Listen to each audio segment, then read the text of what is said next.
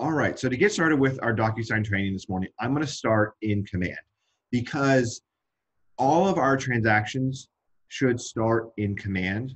One of the, the main benefits of um, using DocuSign as our e-signature platform is its integration with Command that allows us to seamlessly upload documents from DocuSign directly into a Command. On top of the fact that DocuSign's free and you don't have to pay for it. So I've gone ahead and I've created an opportunity um, just for time's sake. Uh, if you need more information on how to create an opportunity, we go through that in uh, Take Command 03. So I'm going to go to my opportunities. So on the left-hand side, I'll click on the megaphone. Oh, sorry, wrong icon. I'll click on the uh, hands shaking, which is opportunities. And then you see here we have our sales funnels. I personally just like to go to all opportunities, and that shows a list of my opportunities that I have. So I've created this one, two, three, four Main Street listing. I've gone through, I've filled in some of the information here. Uh, fill in as much of the information as you know. And then to get started, I'm going to go to the Documents tab. And this is going to be one of the most um, crucial parts of starting that opportunity and starting that transaction. Because up here in the top right hand corner, you can see here the Start a Transaction button. And this is the button that you have to hit in order to connect Command to DocuSign. If you start a room in DocuSign, you will never be able to retroactively connect that to Command. So we want to make sure we can take advantage of one of the main benefits. So always be sure to start a transaction. And then in the future, you can always hit go to transaction, which I'll show you later, and it simply drops you right in the room where you need to be. So for today, I am going to use a listing as an example because I want to share with you and talk through on the seller's property disclosure, community association, lead-based paint disclosures, because those formats are a little bit different than most of the GAR forms you'll be using. So to get started, I'm going to click Start a Transaction. And you'll see it'll start to think, and then it will open up a new window and log me into DocuSign. If for whatever reason a new window doesn't pop up, you may have your pop-up blocker on, which happens. Um, and it's been a been a been it has been a sticking point for some agents. And if that happens, you should get a little notification up here in the top right hand corner, um, just a little box that you know shows that a pop up has um, been blocked. And you'll want to give command, um, uh, you'll want to give command uh, our Google permission to open that. Um, so Donna, the part of the screen on the right side is covering up what you're talking about. What's covering up? It was covering up when you said go to the right and there's something there. That was when you were on documents. I in other words, what's covering up is like your all of our names and pictures. That whole area is. So yeah, so on your screen, um, where you see the the blocks of the video screens, minimize it on the minimize button in the top left hand corner of that, and it will shrink that. Okay. So then you should be able to see the full screen. Okay. I just can't see you. That's good. yeah, that's fine. Yeah, you don't need to see me. Okay. Thank you. Sorry. yep, you're fine. You're welcome. All right. So now here I'm at DocuSign. I'm going to click continue to log in. Now I've already created my DocuSign account so that we're just kind of breezing through there. If you need help setting up or creating your DocuSign account, let me know and we can spend some time together uh, after this. So when you start your transaction, it's going to drop you right into the documents portion of DocuSign. And then up here in the top right hand corner, you can see we have our name of our room. So it's 1234 Main Street, Starks, Stark Potts listing. That's the same name as the opportunity in command. Now I could change this if I wanted to and it still be linked, uh, but just it just shows that it pulls in a lot of the information from the way we set it up in command. And then here we have an ID number this is going to be kind of DocuSign 2.0, but that ID number would be uh, what you would use if you ever want to email yourself any information directly into your room.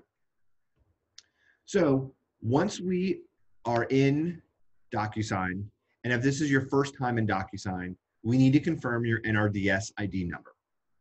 That number is what is going to give you access to the Georgia Association of Realtor forms that we all pay to use a license of. If you don't confirm it, the system won't know that you're actually a realtor and you won't be able to use those forms. So there's two ways that you can confirm your NRDS ID. The first, and I think probably the most simple, is when you first jump into DocuSign and you're in the Documents tab, you can come up to the right-hand corner where it says Add, click on that, and then select DocuSign Forms. And this window is going to pop up for us with the two uh, logos for Realtor and the Northwest MLS. We'll select Realtor, and then it's going to ask for our NRDS ID. Now, I've only met two agents that actually know their NRDS ID. So, and I imagine if you don't have it off on hand uh, readily, you can click on this link below that says find your NRDS ID. And this will pop up a new window where we can look for our, our ID number using our last name, email address, and or license number. So I'm gonna use my last name and license number. So just type that in. Uh, 374, 379, 844. Perfect. And you see here a green check box, um, check mark, and here's my number. So I'm just going to copy this, copy, and then I'm going to close out this window. It doesn't return when you click that, so I'll close that out. I'll paste in here. Now it's going to, I have to confirm the association that I am a member of, which is the Georgia Association of Realtors.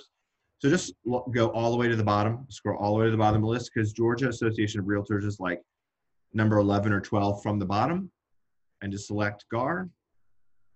Then click validate. And it'll let me know I have now validated two associations. Now, if this is your very, very first time confirming your NRDS number, which it likely will be, you'll have another pop-up right here from the Georgia Association of Realtors, and you just click accept to the terms of those forms. So now um, I have access to the actual forms, but really quickly before we do any of this, I want to show you the other way to confirm your NRDS ID. So I'm just gonna click cancel here. And then up in the top right-hand corner where you see uh, either your image or your initials, click on that and then select preferences. And then over here on the left-hand side in the menu, we'll click on integrations, scroll down just a bit, and here's another place that we can confirm our NRDS ID number. It'll be blank here, and there'll be a link to the right uh, that says find your NRDS number, and it'll do the same thing where you can search either your first, your last name, email address, and license number, and then you would conform, confirm Georgia Association of Realtors right here. So those are the two places that you can confirm your uh, National Realtor DS NRDS ID number. Do that before you do anything else in DocuSign. So now that we are good to go, we have access to the GAR forms. I'm going to come back to the rooms that I've created. I guess I'll just click on dashboard right here. So I'm going to pretend like we just left off or picked up where we left off, which docu our command dropping us off right here into the documents tab. Now, our first inclination is like, oh, let's start adding documents. I need to get my listing agreement. I need to get my disclosures and then write my purchase and sale. Don't. Before you start adding documents in DocuSign, we need to go to the details tab. The details tab is where we are going to add all of the information about this transaction. It's where we're going to make sure that our client's name and email address information is included correctly, the property address information is included, because this, all the information on the details tab is what is going to auto-populate into the GAR forms. I do want to clarify, DocuSign does not have the same integration with FMLS that dotloop did, so you just can't type in the MLS number and have all the information pre-populate. So you will have to type it in manually, but if you type it in on the details tab, you won't have to do it every single time. So to get started making edits to the details tab, click edit in the top right-hand corner. And we're gonna kind of do this in two parts. Um, on the left-hand side, probably the left-hand two, or two thirds of the screen is gonna be all the information about the property. And then on the right third of the screen is gonna be information about clients, agents, buyers, sellers, and then we're going to fill that out. So I'm going to get started uh, just at the top and we're going to work our way down. So the name of the room, this is going to be auto-created based on the name of our opportunity in command. Uh, yeah, I don't, you don't need to change it, um, but you can if you want to. And then just kind of, you know, fill in the information as you have it, local currency, US dollars. If you have the MLS number, you can just type that in here. I'll just put in some uh, bogus numbers for, for now. Now, some of this information like origin of lead, you don't, it's not gonna affect uh, anything. You can fill it in if you want, just to keep track of it. But then we'll type in the address. So we'll do one, two, three, four Main Street Northeast, at Atlanta, county. I'll do Fulton, Georgia.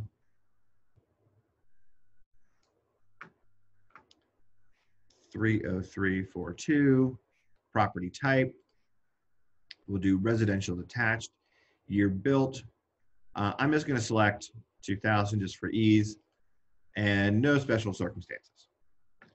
So listing date, so we can give this a list date. We'll have this live for tomorrow. Expiration, we'll give ourselves two months for this listing. Original listing amount, we'll do 450, 123, 450, 123, 450, 123, 450, 123. Perfect. Now for offer details, we don't have any of that information yet because we're just about to get this uh, property listed. All right. So to scroll down, we don't have any bid information, no closing information, tax information. You can add in this information if you have it, but um, we don't have it for the time being. So I'm gonna go back to the top. So now I did all the information about the actual property on the left-hand side, and now I'm gonna come over to the right-hand side of the screen and fill in all the information about my sellers. Now, most of the, I would say nine times out of 10, DocuSign will pull in our client contact information out of command. So you always want to double check and make sure that it's correct and that it was pulled in. Um, sometimes it doesn't, depending on um, how the system, eh, how how recently you created the contact, how quickly uh, after creating the contact you started your room. But just double check, and you'll want to fill in any information that's missing. Now, for DocuSign, the only real information that you need to have for your clients is their name, their legal name as they're going to sign on documents, and their email address. So DocuSign has an email to send documents for e-signature. You don't need to put in their phone number, business phone, or their address. It doesn't matter. You can leave that blank. So I can see here, Tony Stark is going to be seller number one. Now, we have seller number one, and if I scroll down just a bit, you'll see we have seller number two, Pepper Potts. So these are my um, fake sellers for this this morning's training. Here's Pepper. Here's Pepper's email address, which is my personal email. Um, now, the reason I want to point out that there's seller one and seller two is because it's important which client you put in the seller one and seller two positions. Seller one is going to be the client that is mapped to fill in all of the information on the seller's property disclosure, community association disclosure, and lead-based paint. You'll want to talk with your clients and if you have more than one client more than one seller to see who wants to be the one responsible for filling that information in. And then you'll make sure that that person is in the seller one position so i see we have seller one information name email address good to go seller two pepper potts email address then we'll scroll down listing agent now it's going to pull in most of my information um, this is going to come directly from command as well as my DocuSign profile. So my business phone, email address, company. Now it's going to default to Keller Williams Realty First Atlanta or Keller Williams Realty Atlanta Perimeter. I would recommend that you take out Realty uh, out of your company name just so that it fits better um, in the space where it has your company name. There are some places where the actual amount of space is limited and we're unable to change the font size. So I would just remove, remove realty out of the company name. Fill in your address information. Atlanta, country, United States, state, Georgia, zip code 30342. Then also continue to scroll down, listing agent two. So if you had a co-op agent or co-listing agent, you would put his or her information here. And then scrolling down, we have buyer one. Now, I want to point out, since today's example is a listing, I'm not representing the buyers at all. I want, you may feel inclined that once you go under contract that you want to include the buyer's names and the buyer's agent. My recommendation, never include the co-op agent or co-op um, clients in your details tab or on any of your documents in DocuSign. And I'll explain in more detail why uh, later on once we go to create an envelope and send things for signature, but only include your clients and yourself or your um, co-listing agent as uh, clients in the details tab. Now, if you are the buyer's agent, I recommend the same thing. On the flip side, do not include any of the seller's information or listing agent's information and just put your buyer uh, clients and your name as the buyer's agent. So I'm gonna scroll down. So we have buyer one, buyer two, buyer agent one, and buyer agent two. Now, if I had set up my opportunity in command as a buyer's transaction, it would pull in this information into the buyer's fields. A couple questions. Uh, any idea why the office street address carries over but not the city state zip?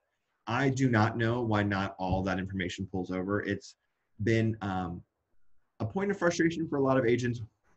Um, but you can update your profile in DocuSign with all that information uh, to see if that'll help. I've, I've worked with Hutch at the regional level to see if we can get some of those fields uh, remapped to include that, uh, as well as a lot of the other information that we're going to look at uh, in the listing agreement and purchase and, and sale agreement. Uh, will you be showing us how to get the GAR forms for the listing? Absolutely. So I'm just, right now, we're just going through the details tab to fill in all of the information. So that way when we go to create and edit the GAR forms, all, the, all those fields are mapped and filled in correctly. All right, so now that we've gone through, we've double checked the and edited the property information, the seller's information, my information as the listing agent. I'm gonna click save in the bottom right-hand corner. Room has been updated, perfect. So now that the details are updated, now we can go back to the Documents tab. And the Documents tab is where we're going to add GAR forms. We will not be adding our affiliated marketing or wire fraud prevention or any other office templates in the Documents tab. All of those will be added in a few moments in the envelope. This, the Documents portion of DocuSign is really just to update form templates. And I will show you what I mean by that. Uh, Uh, Nick, yes. that is not the way we're set up. Oh, I so you guys, you guys have your forms here. Yep. Okay. I've, yeah. So I, I didn't want to Okay, well, perfect. confuse everybody. So uh, my apologies. So for, for First Atlanta, we have them in the envelopes, but for Atlanta Perimeter, you guys have access to them here. And I'll All, mhm. show you where we'll find them in just a moment. okay. Um, so question, can you uh, say again why you recommend we don't put the co-op information in? Well, I didn't really give a full explanation, um, but the reason is I don't recommend putting in co-op agents is because the way DocuSign works is that anytime you add someone as um, a signer to a document, that everybody has to sign before that document is completed and you have a signed finished copy. So let's say, for instance, you're putting together a purchase and sale agreement uh, for your buyers and you want to add, you want to be proactive and you want to include the listing agent as a signer on that document. Well, more more than likely, if it's your first offer, that listing agreement or sorry, that listing agent isn't going to sign that offer. And then what's going to happen is you're going to have a partially signed document that the system will never register as being completed, and you will never be able to download the document with just your signatures and your buyer's signatures on it. It'll always show as incomplete. So I would recommend that you just send to your clients and have yourself sign, and then you can send a PDF of that document completed to the co-op agent. And I'll show you uh, in just a minute how that works in DocuSign. So um, now that we're going to add our forms, we can come up to the Add button in the top right-hand corner. We're going to select DocuSign Forms. Now, I do know in uh, for Atlanta Perimeter, you guys have some groups set up. So right now, I want to show you how to find the documents uh, from the library. From so all the GAR forms. So you would select the DocuSign Forms library, and then from the drop-down menu, select Georgia Association of Realtors. And this is going to show all, I think it's 181 GAR forms. And you'll start looking for the forms that you want. So this is the listing. So we'll do exclusive seller listing agreement. So I'm gonna check that and I can see down here in the bottom left-hand corner, it says one form selected. And I'm gonna add, um, let's do sellers property disclosure. Select that. Now it lets me know the two forms are selected. Uh, we're going to do community association disclosure.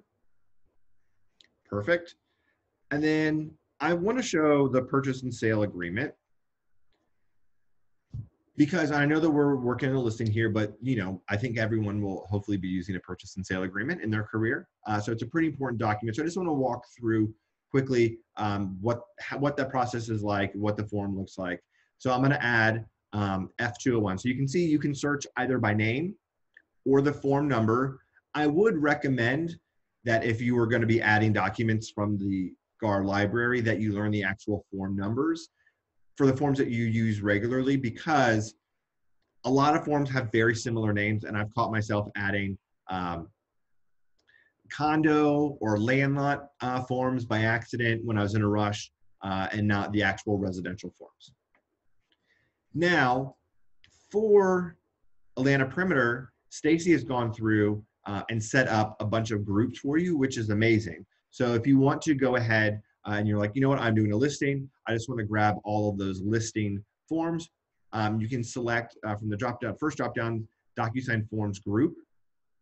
And then here, you will have a handful, I think you have eight different groups um, of all of the most common forms that are going to be uh, needed for a buyer's uh, agreement, a listing, um, some commercial, all those there. So you can just select that group and it will show you all the documents um, that you'll likely be using there. And then you can just select all of them and click add. Okay, gang. Um, yes, just what Nick said is true. I've got all of the um, consumer brochures in one group, um, buyer listing, uh, lease, referrals, all those groups. And um, I did put the affiliated marketing and wire fraud in both the uh, buyer and listing groups. It's also in the, I have a QAP forms group. Pay at close is in QAP forms. Uh, there might be something else, but um, oh, a, a W 9 for referrals. Anyway. Yeah. And we have commercial forms too. Yeah, so you guys have everything that you would need in those groups. I'm gonna probably 90% of the time you're gonna end up using groups because it's gonna be a lot easier than going through um, Yep. and searching. But I just wanted to show you so that way you knew how you could find any of the other GAR forms, especially if you um, need, you know, your amendments, um, like amendment to um, to address concerns or amendment to agreement or reduce sales price, any of those forms that may not be um, in those groups. All right, so now we have. Um, They're there. oh, they are okay, perfect. Yeah. Well, I guess so. Now I have to re-add all these forms because I unselected them. So let me just add them super quickly. Sellers, property disclosure, community association disclosure, and then uh, exclusive sellers seller listing agreement. Perfect. So I have all forms, all four forms selected, and I'm going to click add the page is going to refresh and all of those documents are going to default into the room docs folder. So right now, the document, the documents tab has one folder. Now, you can set up and organize your DocuSign room any which way that you want. Lynn is not going to look in your DocuSign folder. That's what command is for. Because I know in dot .loop, we had to organize things in a specific way, in a specific order. So in that way, uh, as compliance was reviewing, they knew exactly what they were looking at.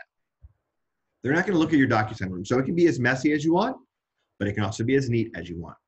Um, so if you wanted to, you see here I have you know some of my listing agreements, but then I also have my purchase and sale. So I may want to create some separate folders. Um, to do that, I would select Actions, Add Folder, and I'm going to make a listing uh, agreement folder. So I'll select Create. Now there's two ways that you can put uh, move documents into this folder. You can select the documents by rolling your mouse over the icon and then selecting the circle in the top left-hand corner. And then when you do that, this menu toolbar appears right here. And one of the options is move, so I can select move, select a destination, folder in current room, and then select the listing agreement folder and then select move. And it will automatically move those documents for me. But a simpler way that you can do this is just click on the document and drag it up to the folder, and it's that easy. So now I have my document separated um, out by my listing agreement, and then I just have my purchase and sale in the room docs folder.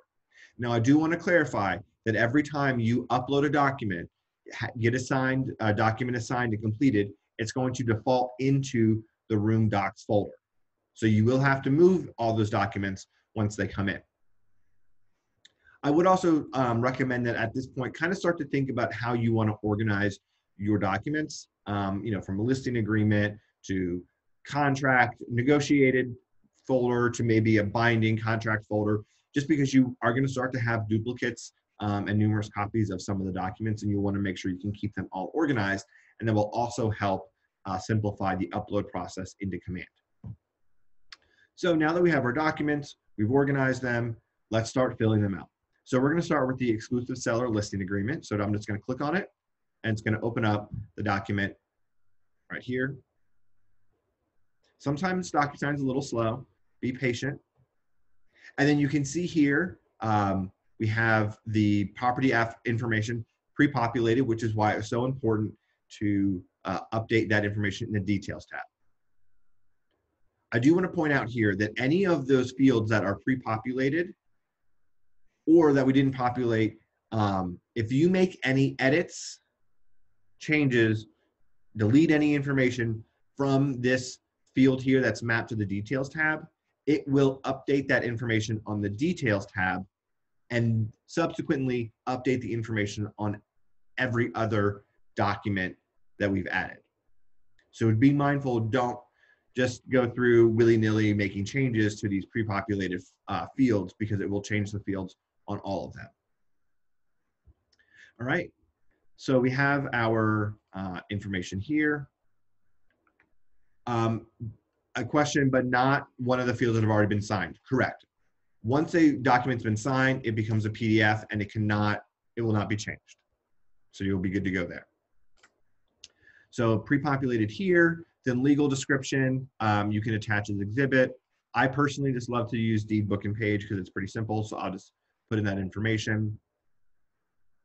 Listing period, so just add in um, the information. Now, Ignore Nick. Ignore what Nick just said. about deed book. Fine, you can Yes. use your exhibit. You can use your exhibit. Um, it's it's Our the closing attorney insists we do number one. All right. So yeah, do number one, um, and just reach out to your closing attorney to get uh, that exhibit. So for a listing period, you do have to manually type in the address. So we'll do 725 2020 because we're going to kick off this listing tomorrow, and then it's going to end on 925 2020. It doesn't have a calendar uh, field like dot .loop, so you do have to manually add them in, which is a little bit of a pain, but it's fine. You can see here, uh, the list price is pre-populated. Now, it doesn't have commas in it. For whatever reason, um, sometimes DocuSign lets you put commas in, sometimes it doesn't. Uh, we reached out to the regional level to see if they can get that fixed, um, just because it makes it a lot simpler to see, uh, quickly look at the number know, okay, this is $450,000 versus 45 or 4.5 million. All right, so just go through the document. You're going to check the boxes so the seller has the right um, to negotiate, marketing here. So you just type in your information. Uh, one thing I do want to point out um, is that the training that we're going through this morning, um, as you know, Stacy pointed out for number one, this is all about just how to fill in the information on these forms. It's not an actual class on what information to fill in. So please do not take any of the information or recommendations of what I actually put in here because I'm going to use abbreviations, probably some incorrect information. I just want to show you how you actually go through the process of typing in and selecting fields. Please default to Stacy and Cynthia and Lynn uh, and your closing attorneys for all the actual correct information to put in all of your GAR forms. All right, uh, so scrolling through, so we'll do commission, Uh, we'll do our 6% here, buyer 3%. And again, that's all negotiable. Protected period, I put in 90 days. I'm independent contractor and dual aid, we do not offer dual agency or sub agency. Perfect. Scroll down, special circumstances. Thankfully, I don't have any of those for this transaction, so let's keep scrolling down. Look for any empty fields that we need to fill in. Thankfully, it's just a lot of text here. And then here, the brochures, you go through and select any of the brochures that you want to send. Protect, you know.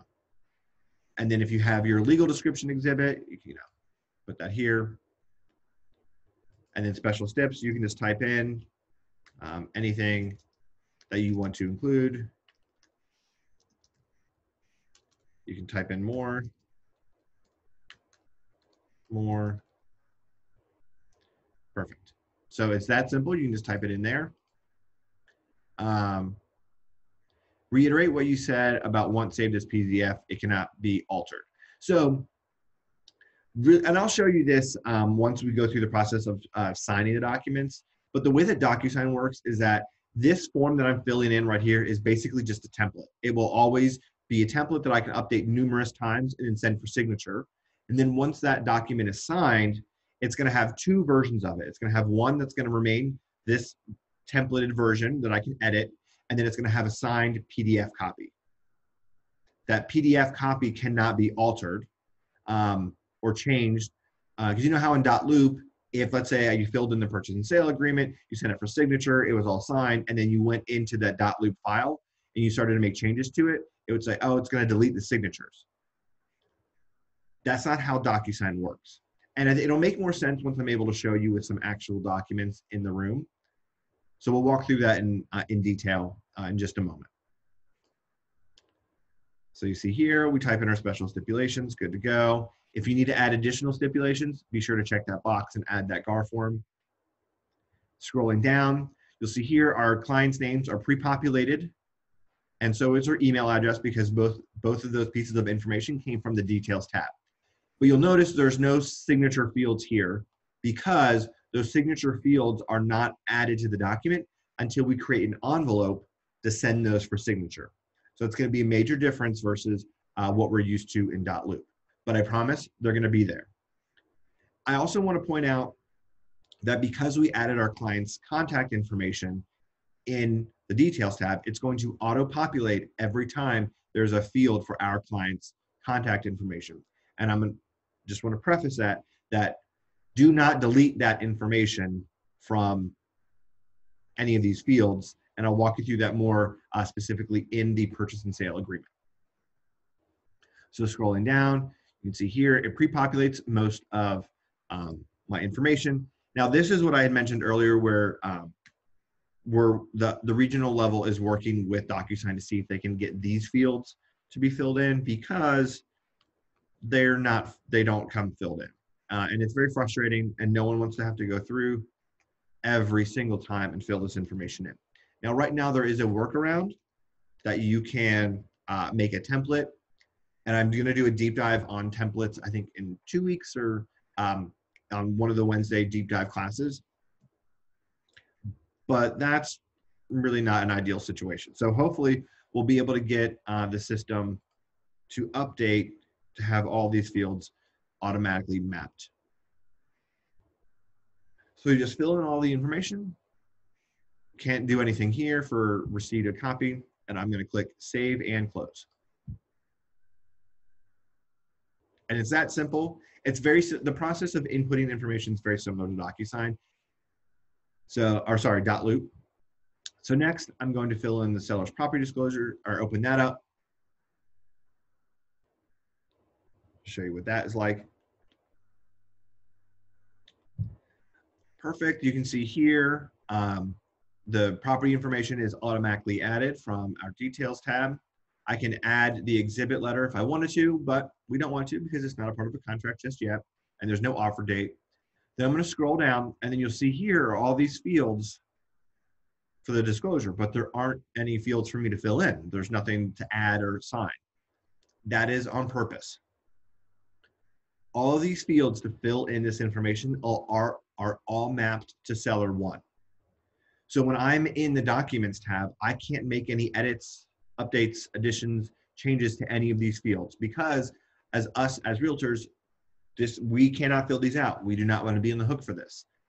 So we have to send it to seller one to fill in. So I can't change it. So I just want to show you how all these fields are blank. Uh, and then I'll scroll down to the bottom and it will pre-populate our clients' names. And that's it. So save and close.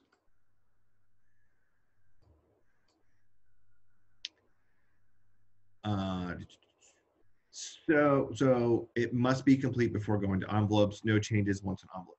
Um, Cecilia, kind of, yes. Um, I mean, the document needs to be filled in as completely as possible uh, before creating an envelope to send for signature.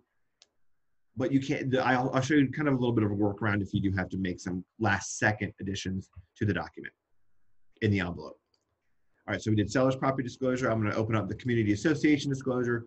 Same thing, just wanna reiterate that all of these fields are gonna be mapped to seller one and we can't make any updates. So all these fields are blank. It looks like it's it's the the document hasn't been prepared, but it is, and I'll show you in the envelope um, how you can tell that all these fields are mapped to seller one. And then so it's just seller initials, so it's not going to show any initials here. Those are added in in the uh, envelope. So save and close. Now for our Atlanta Perimeter friends, you would also have your wire fraud and affiliated marketing disclosures here as a part of your room, uh, your docu documents tab. Since I'm not an agent with your office, I don't have those because that's not how ours is set up. Now, I want to go through the purchase and sale agreement. I know we're on a listing, but I just want to show you uh, what the process is like. It's going to be the same thing as going through the listing agreement, uh, but I just want to make sure that you're comfortable with this form since it's going to be probably one of the most important forms that you will be using in your career. All right, so purchase and sale agreement, offer date. So let's, you know, we'll write an offer date for today. And then it fills in the property property information.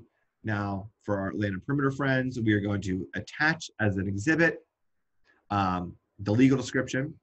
Good to go. Uh, purchase price. So you just that's you know we'll we'll do uh, 440. Oh. All right, and then closing cost, we'll do 5,000. Now, one thing I really like about DocuSign is that you can just click tab and go from one field to the next. It's that easy. And another great thing about DocuSign that I love is that you cannot accidentally delete these text fields. I can't tell you how many times I was in DocuSign or in dotloop working on special stipulations and I was like, oh, I spelled something incorrectly and I was hitting delete and then I accidentally hit held down shift and delete and it deleted the whole text box and I had to re-add everything. It was such a pain in my butt. You don't have to worry about that in DocuSign. These text fields aren't going anywhere. So closing date, we'll do 824 2020 uh, closing at the time of closing. So very similar, you just kind of go through uh, the boxes and input your information. So I'm gonna do um, Campbell and Brannon as my closing attorney, earnest money. Let's do, we'll do 4,400 within three days of binding. I mean, you can see just how simple it is to go through here and just type in these fields. It's that easy. Was not built prior to 1978. I'll be selecting as client. Now, um, so I am in this transaction representing the seller because um, I guess listing agents can actually submit offers. Um, but for, for the selling broker today, let's I'm just going to put in Harry Norman, working as client, material relationship, NA time limit of offer, we'll make this uh, 12 p.m. on uh, 7 25 2020. So we'll give her 24 hours to review this. And it's that simple just to go through um, and fill in the information. Again, make sure you fill in all the correct information on what um, your protocol is based on what Lynn and Cynthia and Stacy say. So scrolling down, all right, then we can come over here for our exhibit. So we'll do seller's property disclosure. I would add this as A, community association disclosure, B, and then you can type in any special stipulations. Um, special stip one, special stip two, special stip three. Now, I do want to point out that the area for writing special stipulations on this on the purchase and sale agreement isn't very big. I don't know why they made it this small because I know a lot of agents have three or four stipulations that they use on every single contract, and this may not be enough space um, for you to fill add those in. There's two different options of what you can do. Is you can use the additional stipulations page and and paste those uh, stipulations there, or you can fill in as many of the stipulations as you can on the purchase and sale agreement in the documents tab. And then when we're in the envelope, I can show you how you can add text box uh, to add some more text where we're actually able to control uh, the formatting of it so we can fit a little bit more in the space. So continue to scroll down. See here, buyer or my seller's name, email address, seller two, name and email address. Now, I personally do not like to share my client's information with any co-op agent. I'm sure that nine times out of 10, that co-op agent is gonna be very respectful of the client relationship that I have with my uh, clients. However, there's always gonna be some rogue agent um, that gets frustrated or wants to try to, you know, cut you out or do something shady. I don't want that to ever happen and I don't want my clients to ever be in that situation. But as I mentioned earlier, do not delete your client's email address off the purchase and sale agreement because if you do, it will delete it out of the details tab and thus there will not be any email address in the envelope to send these documents out uh, for signature to.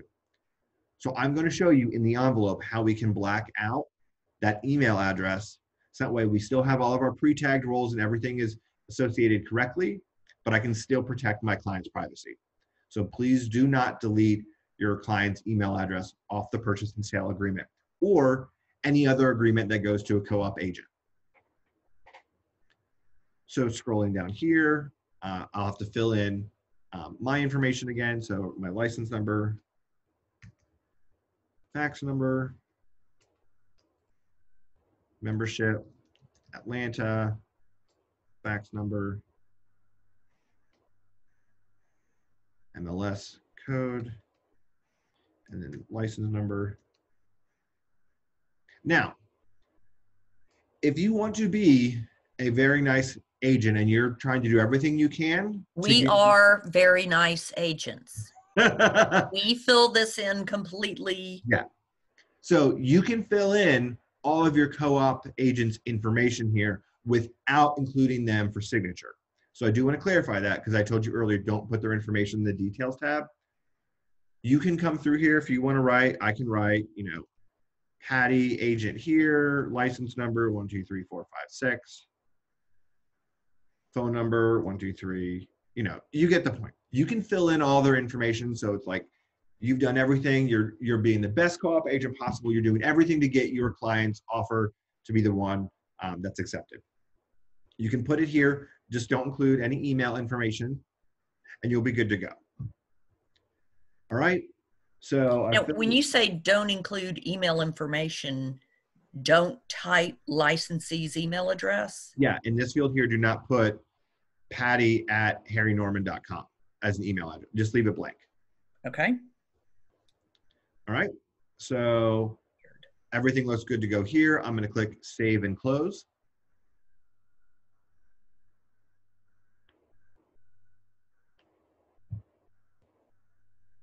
All right. So now we have all of our documents. They are good to go. Now we have to create an envelope to send them for signature. And the way that envelopes were explained to me from uh, Michael New in our MCA office here is that think of envelopes in DocuSign like a manila envelope that you would use to hold documents. So you've gone through, let's say you wrote out all these documents by hand, you filled in the purchase and sale agreement, you've organized them, and then you want to put that in, in that manila envelope and put them on the corner of your desk until you go see your client, and then you hand that manila envelope and all those documents to your clients and say, please sign. It's that same uh, option, the same setup here where you're going to create an envelope to send those documents. There's two ways that you can create an envelope, and I'll show you how to do both. The first is you can roll your mouse over the icon of the documents and select it. And when you do that, you'll notice this toolbar appears at the top of the screen. And you can roll over the different icons to where you see DocuSign, and you can click on DocuSign, and that's going to create an envelope for you with all of these selected documents. That's way number one. Probably, probably going to be the simpler of the two ways. But the other way is to come up here to the envelopes tab, click on envelopes, and then the top right hand corner, select new, and we're going to make an envelope. So this is the screen that we would uh, be dropped off to if we had selected DocuSign in the uh, Documents tab. So envelope name, we're just going to start at the top here and work our way down to create this envelope. So envelope name, um, so we'll do one, two, three, four, Main Street, uh, exclusive listing agreement, and purchase and sale. The envelope name is for your organization purposes only. Your clients aren't going to see it. Now, I do recommend don't put any bad names or anything in here that you wouldn't want a client to see. But this is just going to be for you, so that way you can, you're going to send numerous envelopes. You may send 10, 20, 30 envelopes in a transaction, depending on all the documents that you need signed. So label, name them appropriately so you can look back and say, okay, actually, you signed the exclusive listing agreement on 7-24-2020. And I, it's easy for me to tell that right here from my envelopes. All right, so now we need to add documents to the envelope. So we want to add all the documents from our uh, documents tab. So I'm going to click on the room docs button here. And then I'm going to select all the documents that I have that I want to send. Now, as you start to get more documents in your room, as you go through the transaction and you start negotiating, going back and forth, you, they will all show up here. Just be mindful um, as you add documents in the future that you're adding the correct ones. So I'm going to select, click Add Selected, and it's going to load those forms into the document, into the envelope. Now, for myself at First Atlanta, uh, for me to have access to uh, the affiliated marketing and wire fraud prevention, those are templates.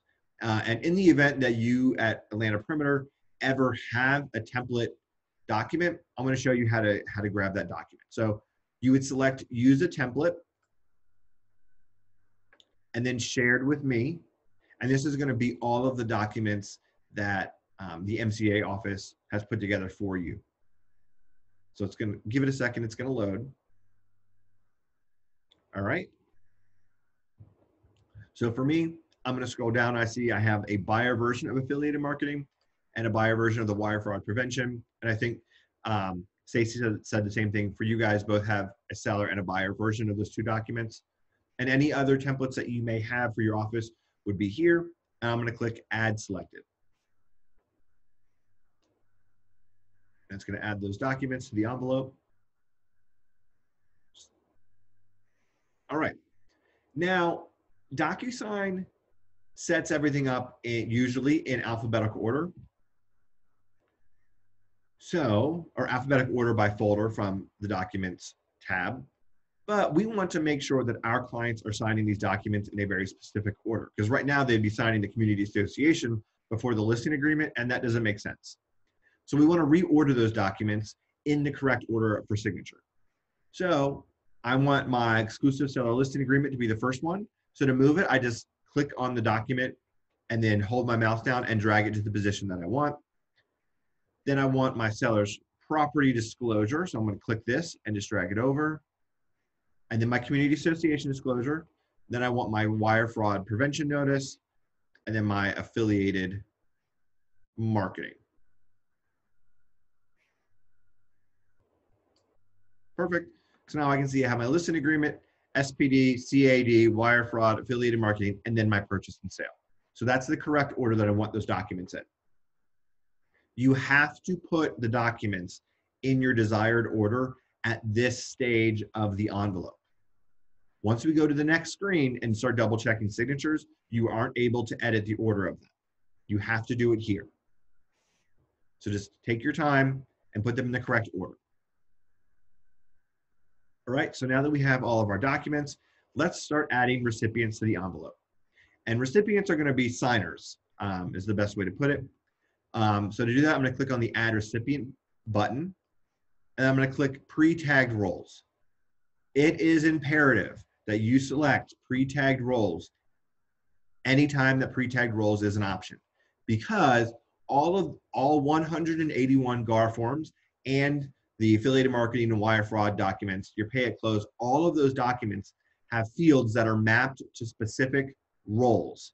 So in the details tab, we went through when we filled in seller one, seller two, and listing agent. So all that information was pre-populated in the document. And now when we're in the envelope and we're gonna be setting up the signatures, if I select pre-tagged roles, all those signature fields are gonna be already created for me, so I don't have to do that. If you select room participants, you will have to go through and manually add signature fields throughout all these documents, and you're gonna sit, you're gonna spend a lot of time doing that. So please select pre-tagged roles. So I click on pre-tagged roles, and this window is going to pop up with all of the um, roles on all these documents. So here in the middle, it's going to show a list of all the documents that are associated with each one of the potential signers. You can see if you roll your mouse over, it'll show a full list so it doesn't look like I'm just sending the uh, community association disclosure. So for seller one, I'm to, from the drop-down menu, I'm to select Tony Stark. All right. And then for seller two, I'm to select Pepper Potts. And then for listing agent, I'm going to select myself. Now you may be in here twice. You can see here, I'm in here, right there, as well as here, because you will be assigned as, as the agent owner of the room, as well as having added yourself as the listing agent in the details tab. It doesn't matter which uh, version of yourself you select, it'll still go to the same place. So I'll select myself as listing agent, and then I'll click add selected. All right, let's give it a second to load. Perfect. All right, so there's a handful of information I want to talk through for uh, each one of the recipients. So on the left-hand side, we see these, there are three boxes and they each have number one in them. In DocuSign, you can set up the order in which people sign that's going to be really useful, especially uh, when, when the seller one needs to fill in the seller's property disclosure and the community association disclosure. So what I can do is I can leave Tony Stark as seller one to be the first recipient. I can then change Pepper Potts to be recipient number two. So she won't even get an email notification from DocuSign that she needs to sign anything until after Tony Stark has finished everything. Then she'll get a notification and I can set myself up to be the third signer. I know, it, um, oh, that was weird. So let me change this and then Pepper, change myself to number three. Perfect. Now it's reordered. Now I know some agents like to be the first ones to sign, last ones to sign. There's benefits to both. Um, one of the benefit that I like for being the last one to sign is that I can make um, documents binding when I sign it. So it just kind of saves me one step uh, later on to have to go back and update that at the timestamp. So we have our signing order here. Now, in each one of the fields, we have this drop down where it says needs to sign. There's a handful of different roles and responsibilities that they can have. So you can have needs to sign, needs to view, receives a copy, specify recipient. Most times you are going to click on needs to sign because they're, re they're receiving this document so they can actually review it and sign it. Sometimes they may just need to view it um, or they can receive a copy. Receiving a copy can become in handy that um, let's say you want to get this offer over to your over to the co-op agent as soon as possible you could set up your co-op agent to receive a just receive a copy. Um, so that once everything's signed they can receive a copy or you can add your lender on here so if they if they want to receive a copy once everything is signed you can do that as well. That is kind of DocuSign 2.0 uh, but I just want to kind of show an example of um, when that might come in handy. The next is more and there's two options here. One is add an access, access authentication and add a private message.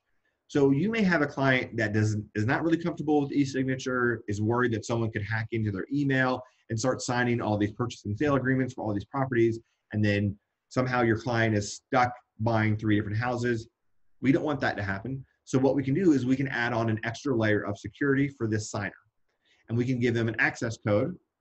And you can just type in your access code here. So I can just type in one, two, three, four, five, six. And I would have to give Tony Stark and I would give him a call and say, hey, Tony, for you to access these documents to sign them, you need to type in one, two, three, four, five, six when you when you open up the DocuSign window. That will give you access to it. You can add it for as many contacts as you want, or you can just click discard and get rid of it. The next is add a private message. So Tony Stark is seller one and is mapped to fill in all of the community association disclosure and seller's property disclosure. So I'm gonna add a, a private message that says, hi Tony, please be sure to fill in all of the fields in the SPD and CAD before clicking finish. Thank you. Now, I would recommend outside of this private message that you talk your with your clients and let them know kind of the, what the process is going to be like. And we'll walk through that in just a minute. But it's always nice to have, have this quick message here that only Tony will, will receive as a reminder. All right. All of our recipients are good to go. So I can scroll down and I can type my quick message to everybody. So I'll do please DocuSign and then one, two, three, four, Main Street, uh, exclusive listing agreement, and purchase and sale. That way, your clients know that this DocuSign email is specifically for the property that you guys are discussing, and they know it's going to be for the listing agreement and purchase and sale.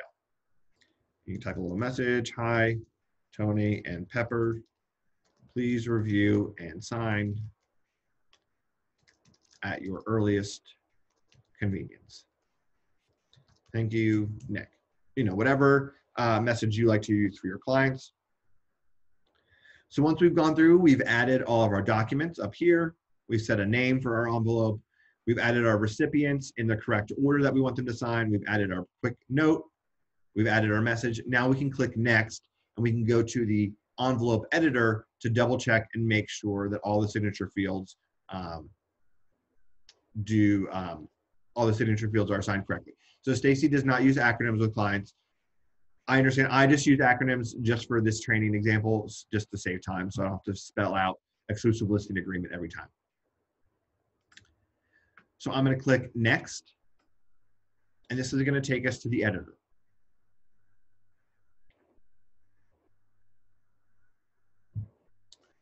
All right, so there's a lot of information on this page, and I want to walk through the layout of it before we actually start playing with any of the documents. So starting in the left-hand corner, let me plug in my computer. Um, starting in the left-hand corner, you can see here it says Tony Stark with a little yellow dot next to it. And there's a drop-down menu. I can click on that and I can see it has all three of the signers, so Tony, Pepper, and myself, and we each have a color dot coordinated with it. That dot lets me know that all these standard fields over here, if I were to add any of them, would be automatically assigned to Tony I can click on pepper, it changes to blue. So now I know all these blue colored uh, fields would be assigned to pepper and the same thing for myself in purple. And it changes. Now below that, we have all these standard fields. So if there's a place that we need to add a signature field, an initial field, date signs, name, email, all these fields, this is how we uh, drag them into the correct position.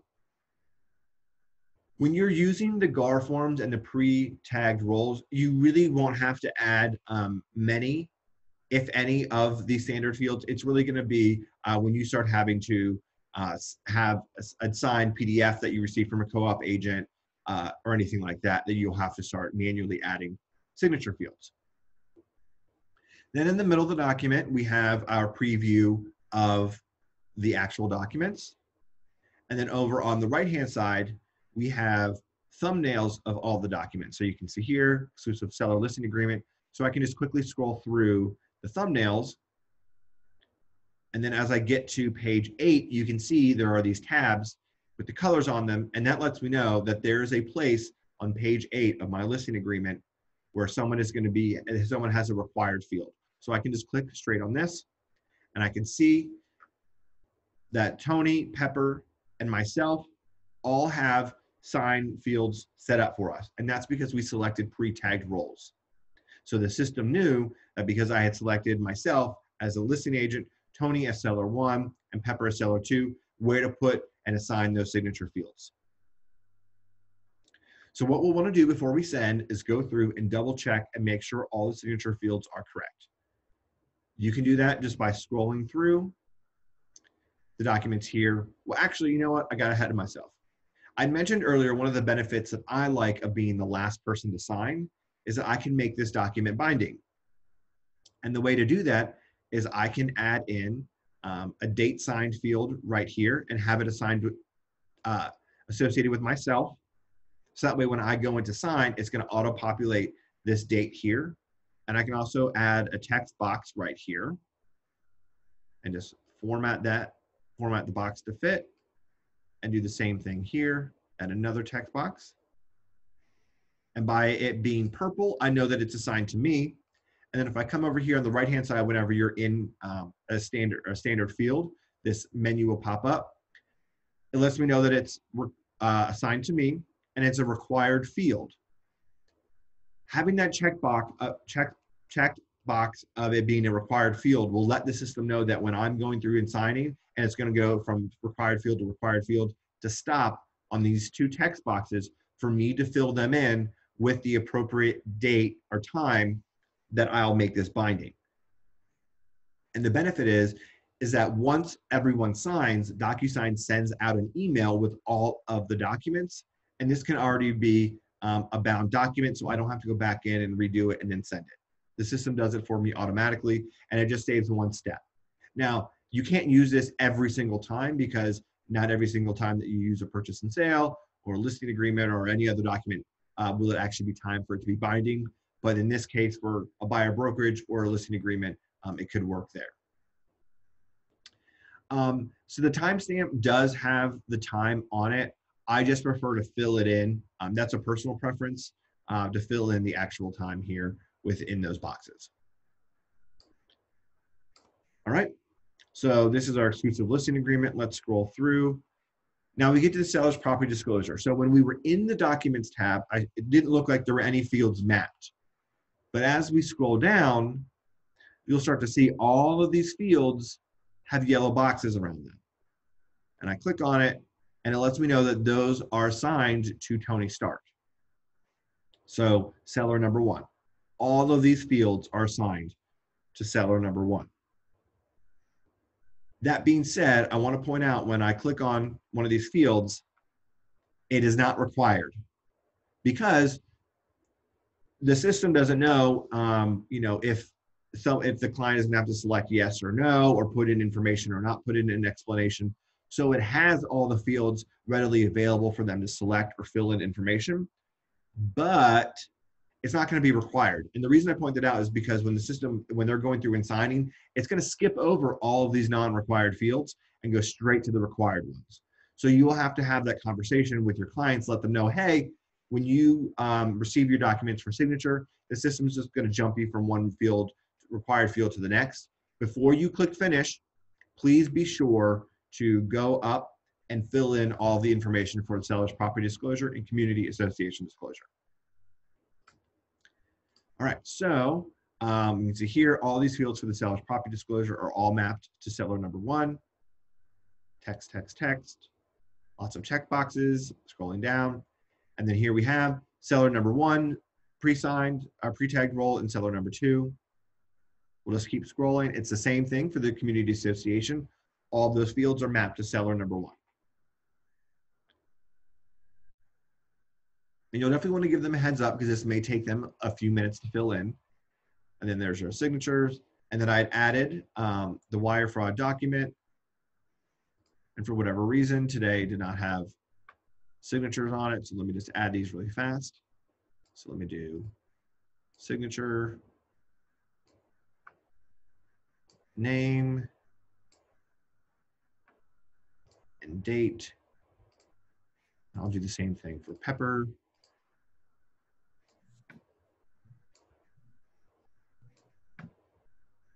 So really to add these fields, you just click on it and then move your mouse over here and drop it down.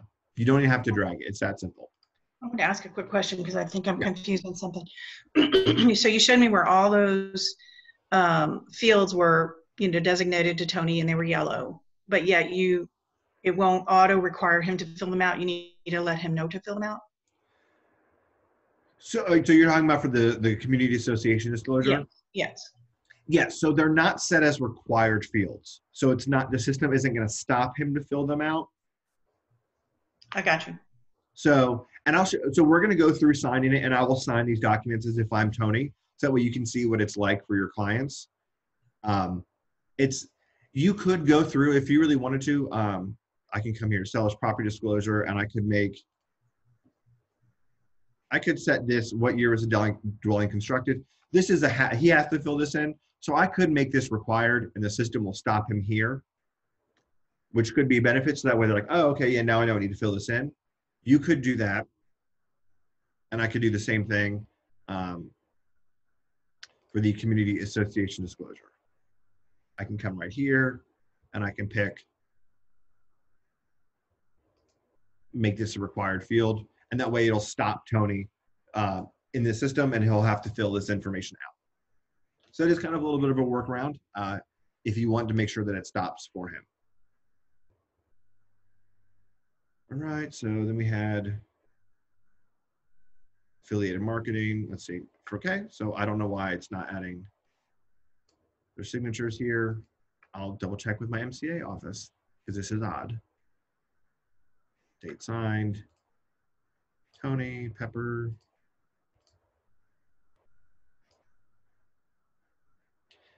another thing I want to point out is when you're working with these uh, fields.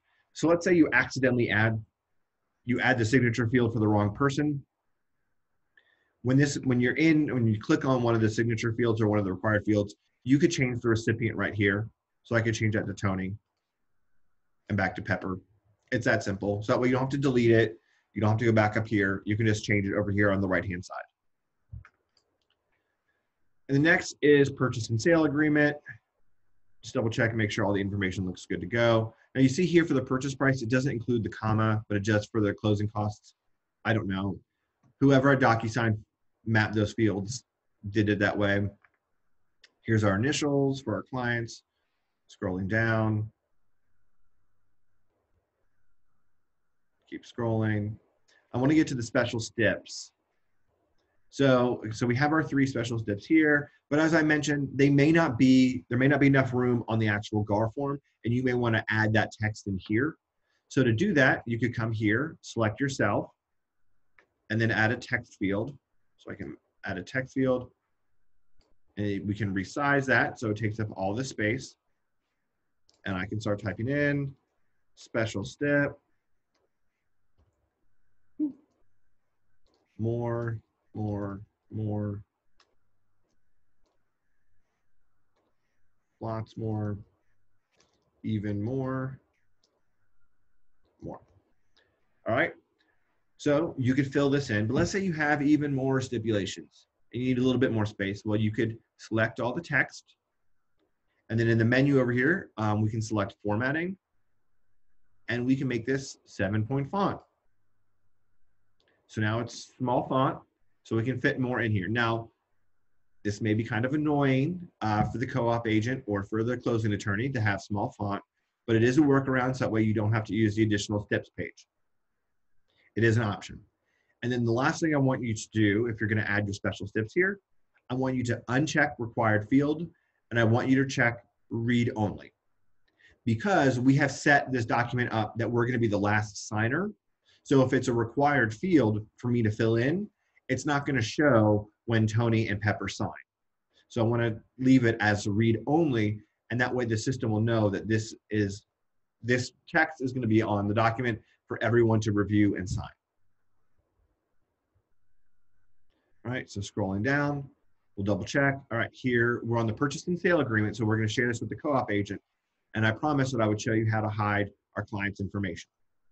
So here, I want to hide um, Tony's information. So I'm going to come over to the left-hand side and where it has a little pencil icon, it's called markup tools. So select markup tools and then line. So I'm gonna select line, and I'm just gonna grab this line and drag it across his email address. When you, when you finish, the menu will pop up on the right-hand side so we can make some edits. So I can come to color. I'm gonna make this black. And then thickness, I'm just gonna make this a couple sizes thicker.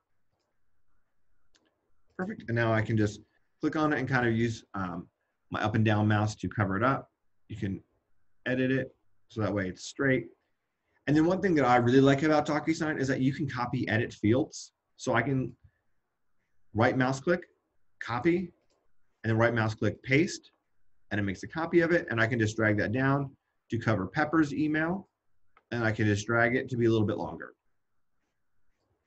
And that is how I recommend that you protect your client's privacy while still maintaining pre-tagged roles.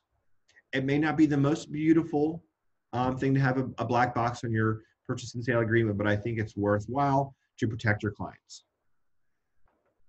So we'll scroll down, double check our signatures. Now, for whatever reason, my signature did not show up here um, as listing agent. So I'm gonna add my standard fields. I'm just gonna select signature, and then we'll do date signed right here. And we'll make that just a little bit bigger. So that's why I was always saying, just double check and make sure that the signature fields are there. Nine times out of 10, they will be. Um, but whoever um, at DocuSign pre-mapped uh, all these documents was not an agent, so they didn't understand sometimes the difference between listing agent versus listing broker versus, you know, the different roles and titles. Um, so just double check and make sure you add any missing signature fields there. All right, so now we are done with all the documents. But before we send to our clients, I want to show you there's a recipient preview. So you can click on this. And we have the option to look to see what it's to, what our uh, DocuSign experience will be like on a uh, computer, on a tablet, and on a phone. So you can see how small that is. Um, you can't even really read it. And then you can select um, the different clients and different signers. So I can see what is it going to be like for Tony when he goes to sign.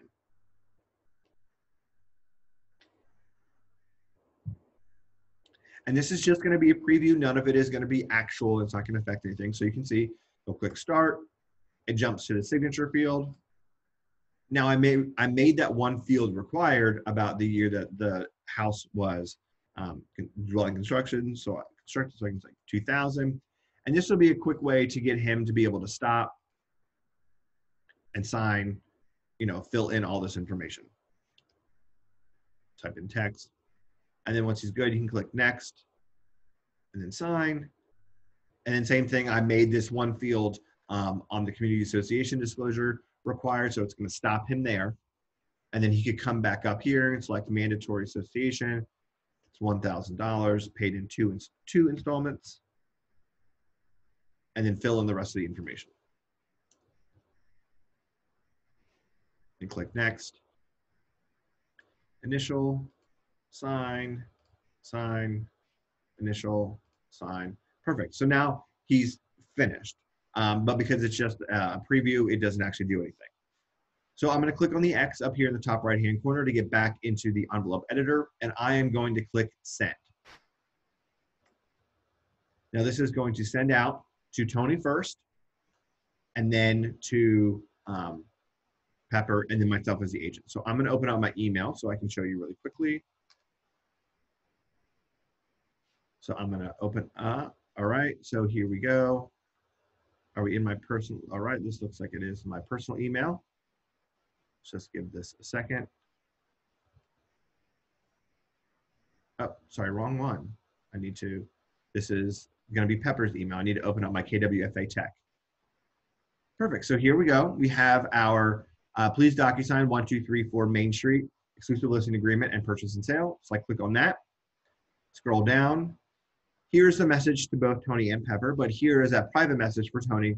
Please be sure to fill in all the fields in the SPD and CAD before clicking finish.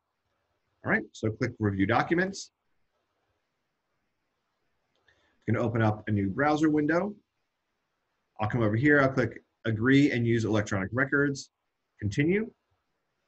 Then we're gonna click start, sign. It's gonna have me confirm which signature I want. So if they want to change their signature or do anything, they can change that here. They can draw it if they want or upload. It's fine just to use this one. Click adopt and sign. And then here's my seller's property disclosure. Now, because I made this one field required, I'm going to type in, you know, 2000. And then I would just go through here and I would just, I'm just going to go through and um, check this information. And he can type in info, info, yes, yes. And he can just go through here and fill in all this information.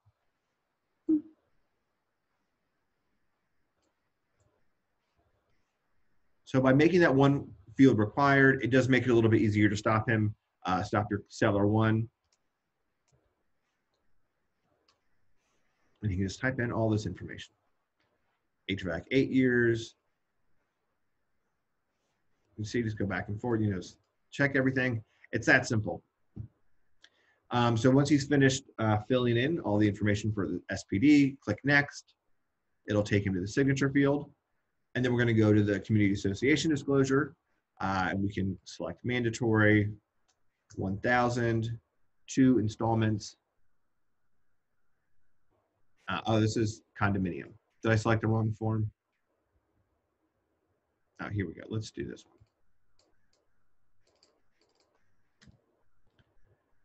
One thousand in two installments, and then HOA name, and then info, info, and then he can just tab through, fill in all this information.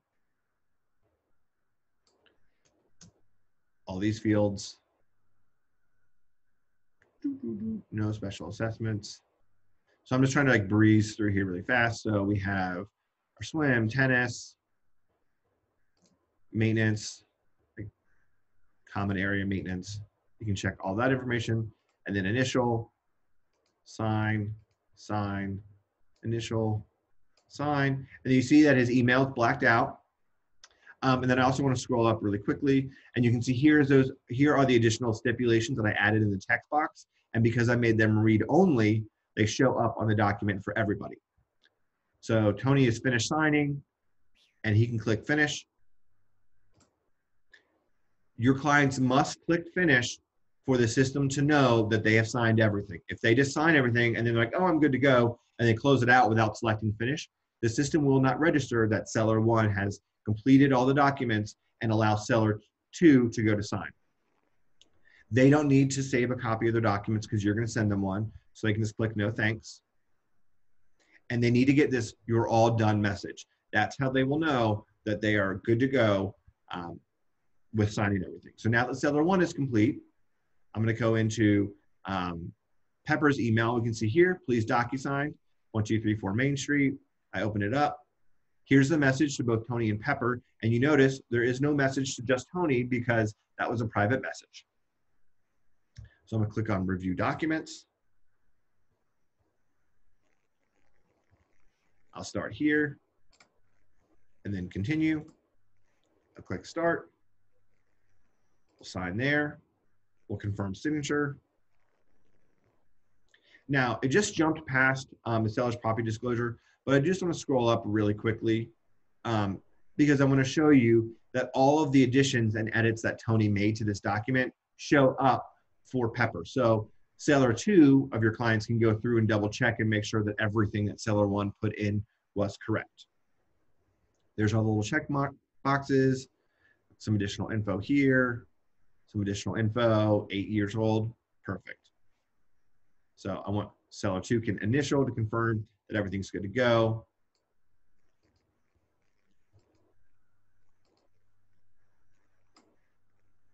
Now Pepper's finished, click finish. No, thank you. All done. So I can close here, and close this, and then let me open up my work email. And because I am signer number three is now my opportunity to please DocuSign. I have reviewed documents.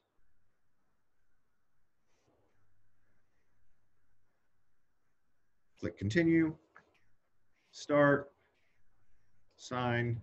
Now remember I made, I'm gonna make this document binding, so I'm just gonna make this binding at 12 p.m. today. So I filled in those fields because it stopped me because I made sure that they were required. Click next, sign, and finish.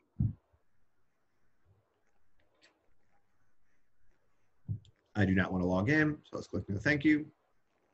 And I got the all done message. And that's how I know everything is good to go. So I can close out of here.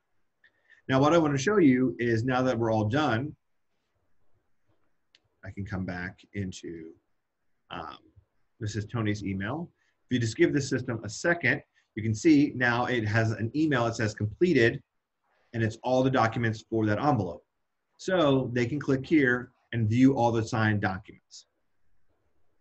This is a this is a easy, simple way for you to be uh, compliant to make sure that you send signed copies of all of the documents to our clients. So here's all the, the documents, everything's signed. Scroll down. Signed, signed, signed. Seller's property disclosure, all that information. They can download, they can print. So I just want to let you know that that is going to be, once everyone is signed, they're going to receive those copies. So I'm going to close out of these windows.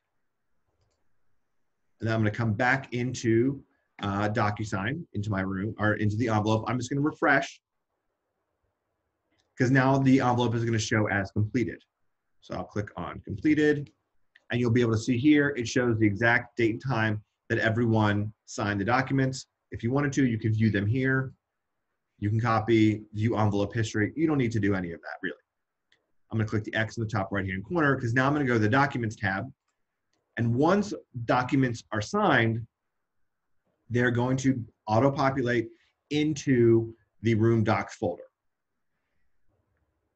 I want to point out here the easiest way that you're going to be able to tell the difference between a GAR form and a signed document is that the signed documents are going to have a green check box in the bottom right hand corner of the document icon. That lets you know that it is signed. It is a PDF. When I look up here um, for the GAR, the listing agreement and seller's property disclosure, these are forms. So I could still come back in here and I could edit this form. Let's say we're going back and forth and or for the seller's property disclosure, they're like, oh no, we forgot to fill in this one, this one section. You could just resend this document and they would can fill it all in again.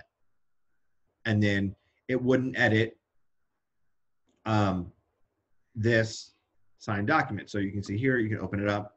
It's signed, it's a PDF.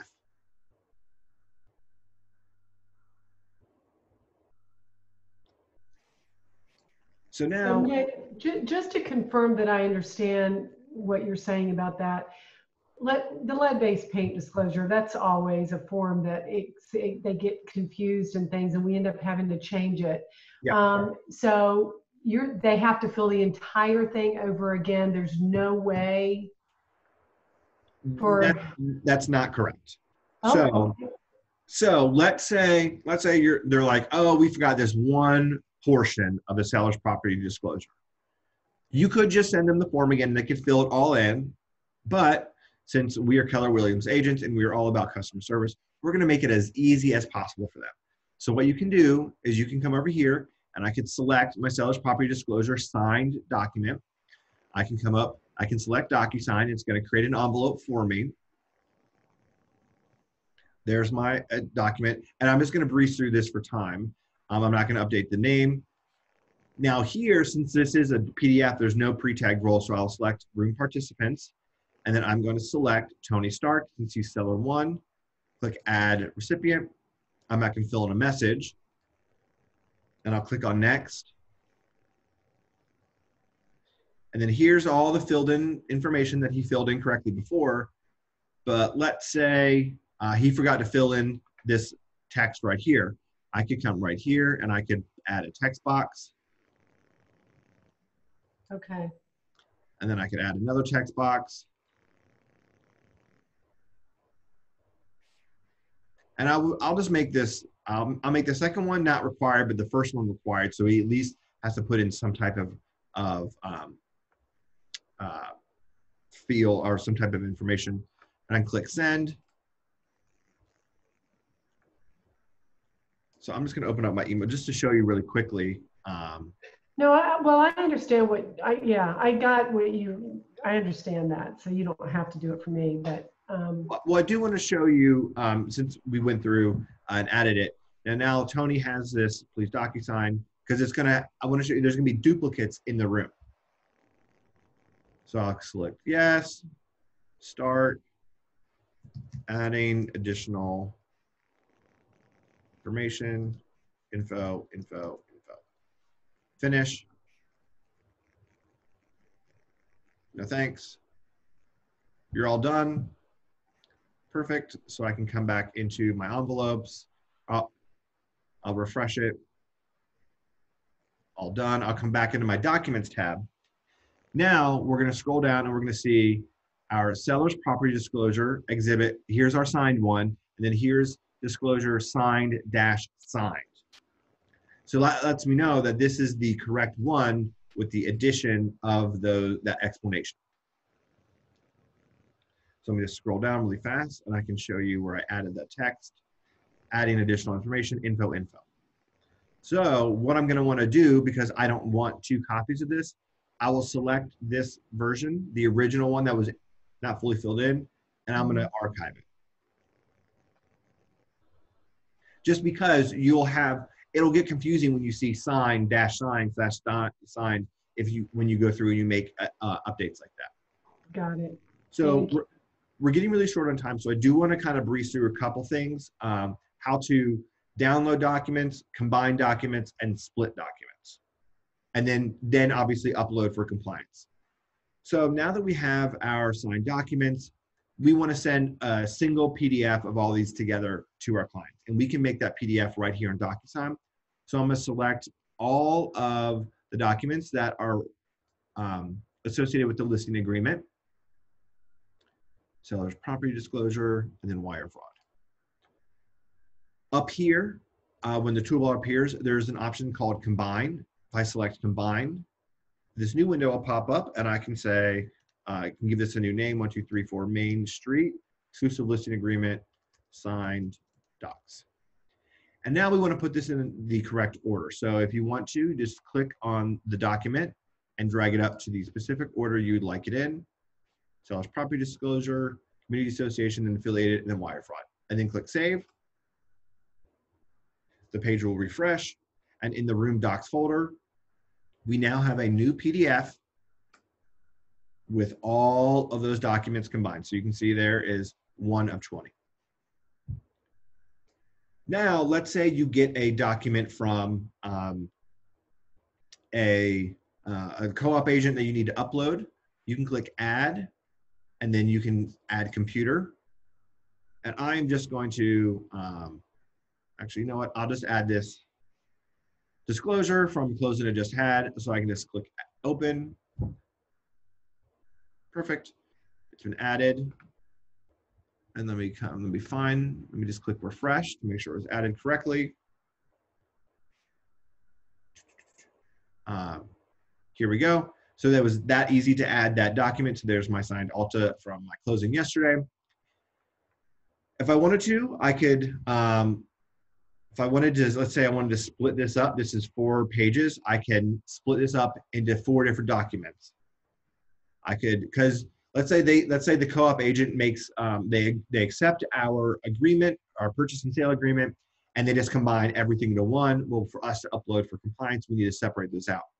So when you open up the document, there's a um, icon called Document Actions in the top right-hand corner. That's a piece of paper with the corner dog-eared. Select that, and then you can select Split.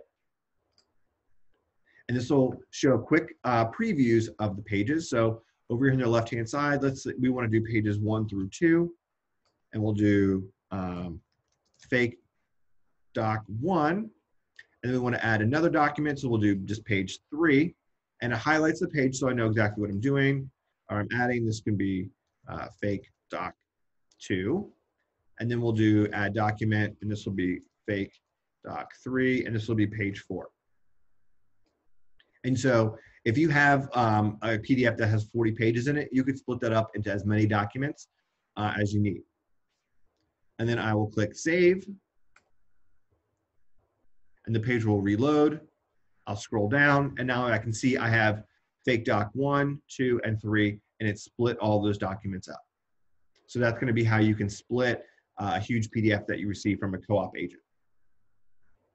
Now I had I combined all the listing agreement documents for my clients and I want to download it to send them as a PDF and an email rather than just the email they got directly from DocuSign.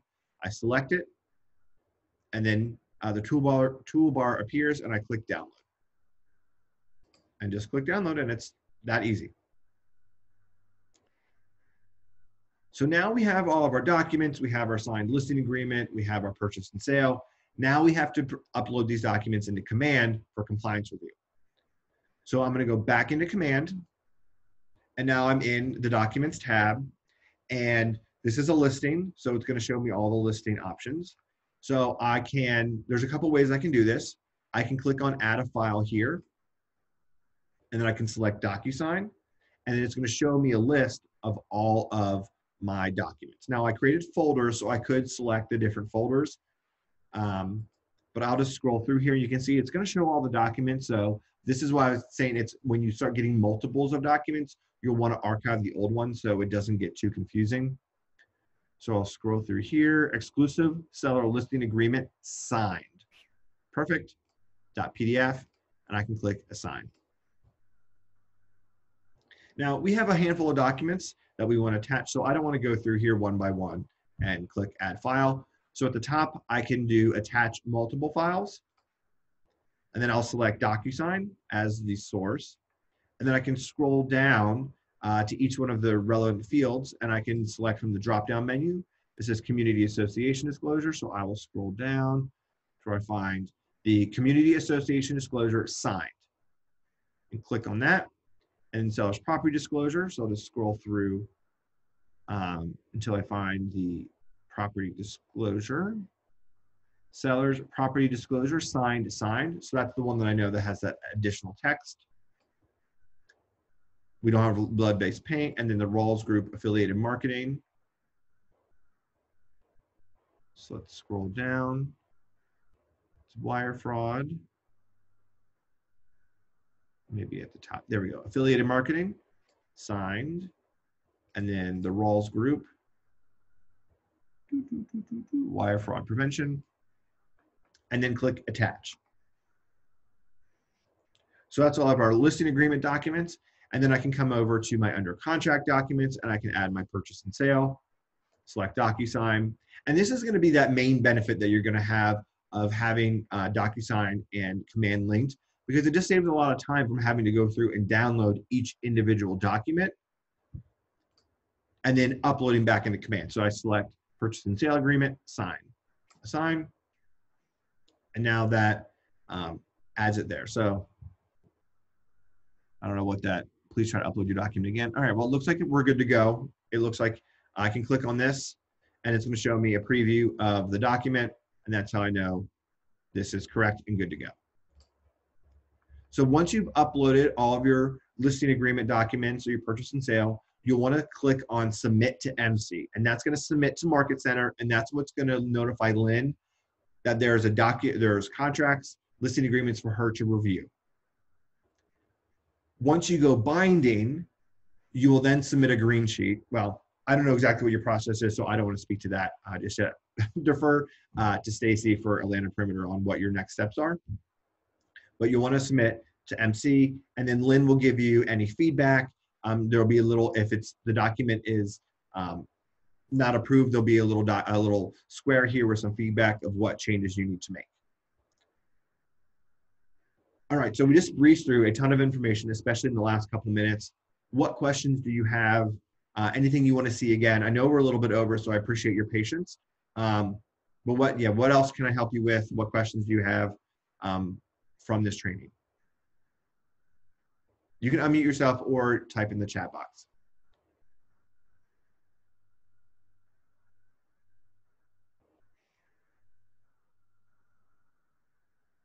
All right, so we have a couple chats. Um, is there a listing without looking at all the forms to see what needs to be signed? Uh, Donna, I don't understand your question. Is there a listing without looking at all the forms to see what needs to be signed? Uh, reach out to me afterwards, Donna, and we can talk through that question um, to make sure you have all the information you need. Well, thank you guys so much for joining. I appreciate you taking your time out of your morning. As you're going through and you're playing around in DocuSign, do not hesitate to call me, text me, email me with questions. Um, there's a definite learning curve to DocuSign. It's not as intuitive as dotloop, um, and it, there's a lot of information. It's very procedural. So reach out to me because I don't ever want technology to be in the way uh, or what stands in the way of you and your next deal. So um, the best way to contact me, I will, let me put my email address uh, right here in the chat box. So there's my email. Oh, do, do, do, let me select everyone. And then here is my cell phone number. So those are informations in the chat box. I'm here. You can call me, text me on the weekends, whatever. I'm always here to help. Um, it's real estate, 24/7 business. So, um, so Sean, in terms of getting to know what you need to do to receive your check, that reach out to Stacy about that, um, and she'll be able to help you. So, everyone, have a great rest of your day, and I will hopefully speak with you soon. And then I have DocuSign office hours this afternoon from two to three. So if anything pops up over the next couple of hours that you just want to walk through again or ask any additional questions, I will be on Zoom to answer those. So thank you.